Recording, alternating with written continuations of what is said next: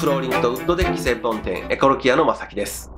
日曜祝日は少し仕事を離れて、あなたの街の大きな木と題し、各地の巨樹巨木を紹介したいと思います。本日ご紹介するのは、石川県加賀市、山中温泉の菅原神社境内にある茅の大杉、またの名を天覧の杉と呼ばれる巨大な杉です。昭和3年11月に国指定天然記念物に指定されており、その樹齢はなんと2300年以上。あのイエス様よりも古い杉です。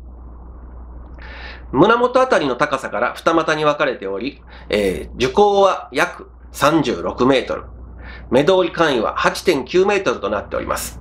ただ、この数値以上に血での巻かれたその姿、えー神が宿ると言っても過言ではない、神々しい姿をしております。ぜひご覧になってみてください。